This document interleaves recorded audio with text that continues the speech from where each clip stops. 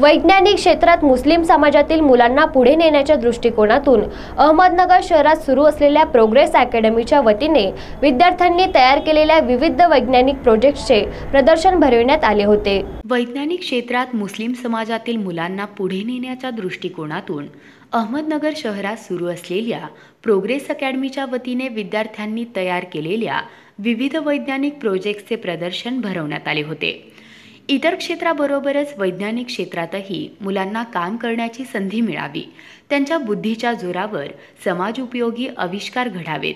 या दृष्टिकोनातून सलमान बागबान हे मागील तीन वर्षांपासून प्रोग्रेस अकॅडमी चालवत आहेत. या अकॅडमीमध्ये मुस्लिम समाजातील मुलामुलींना विज्ञानासंदर्भातील पूर्ण अभ्यासक्रम प्रात्यक्षिकाद्वारे शिकवला जात आहे.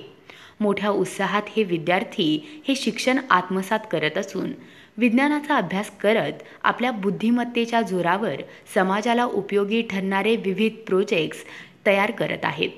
मुस्लिम समाजातील मुलामुलींच्या या कलागुणांना वाव देण्याच्या दृष्टिकोनातून महेश मंगल कार्यालय येथे या विविध प्रोजेक्टचे प्रदर्शन भरवण्यात आले होते.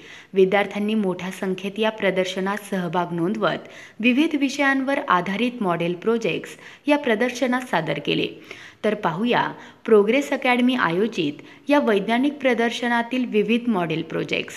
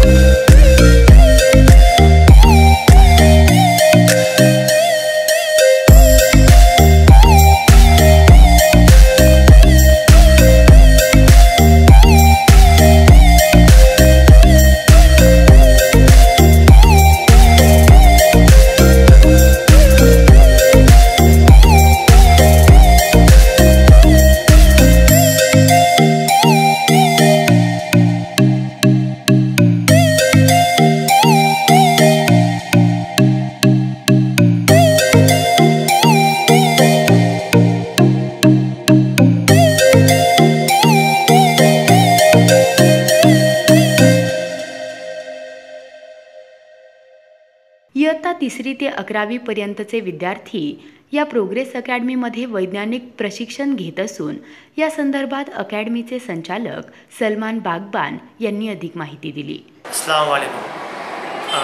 मेरी मैं एकेडमी प्रोग्रेस एकेडमी मैं सलमान सर, और हमने ये एकेडमी चालू की थी तीन साल पहले। मैं जॉब करता था, जब जहन में एक सोच आई कुछ करना चाहिए कौम के बच्चों के लिए तो ये एकेडमी बिगिन की तीन चार बच्चों से बिगेन की थी। अल्हम्दुलिल्लाह, आज सौ बच्चों के ऊपर ज़्यादा बच्चे हमारी एकेडमी में हैं। और एकेडमी का मंशा हमारी यही है कि हमारे बच्चे जो है, कुछ सीखे, बाहर भी सीखते हैं, लेकिन उनमें जो जज्बात है वो उभर के नहीं आते। तो हम यहाँ पे कोशिश करते हैं कि हम बच्चों को समझाएँ और समझाने के साथ साथ उनको लोगों के सामने फेस करना सिखाएँ। और ये हमने अपने एग्जीबिशन रखा है, जो भी हमने आज रखा है। एकेडमिक एग्जीबिशन साइंस एग्जीबिशन इसका हमारा मकसद ये है कि जो हमारे कौम के बच्चे हैं, ये सिर्फ़ पढ़ाई के साथ साथ दूसरी भी चीज़ें करें। इसलिए पढ़ाई एक चीज़ होती नहीं है। पढ़ाई के साथ साथ उनके जो अंदर टैलेंट भरा हुआ है, हमने उनको टैलेंट को उभारा है। उभारने की कोशिश की है और ये अलहमदिल्ला एग्जीबिशन कामयाब हुआ है। काफ़ी लोग आए, काफ़ी लोग सराहना की है और इतना बड़ा करने की कोशिश हमने की है। और इसके लिए एक छोटी सोच है सोच यही है कि ये बच्चे जो है, जैसे आज पूना में, बॉम्बे में जो जिस तरह चल रहा है माहौल कि बच्चे आगे बढ़ रहे हैं, कि हमारे बच्चों को अहमदनगर में ये चीज़ें नहीं मिल पाती। तो ये चीज़ें हमने कोशिश की है एक साइंस एग्जीबिशन कि वो क्या कर सके, एग्जीबिशन में पार्टिसिपेट करे और लोगों से बात करे, लोगों से डेयरिंग होम में बात करने की, लोगों से बात करना सीखे और अपने आप को प्रेजेंट करे लोगों के सामने। क्योंकि आज की तारीख में बहुत ज़रूरी है कि बच्चा अपने आप को, लोगों के सामने अपने आप को प्रेजेंट करना सीखे। तो यही हमने किया है। हमने कुछ डेमो बनाया है, जिसमें एक है ग्लोबल वार्मिंग का जिस तरह से जो अपनी दुनिया का, अर्थ का टेम्परेचर बढ़ता जा रहा है तो किस तरह बढ़ रहा है ये, जो कम करने के लिए क्या कर सकते हैं नॉइज़ पोल्यूशन है, पानी गंदा हो रहा है तो इसको हम अच्छा करने के लिए क्या कर सकते हैं, हम इससे प्रयोग बनाए।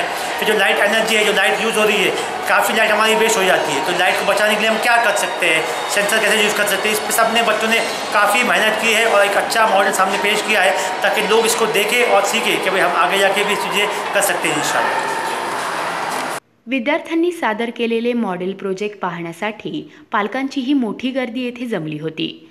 वैज्ञानिक क्षेत्रात मुलांचे प्रोत्साहन पाहून पालकांनी समाधान व्यक्त केले. प्रतिनिधी Mohsin Qureshi A T V news Ahmednagar.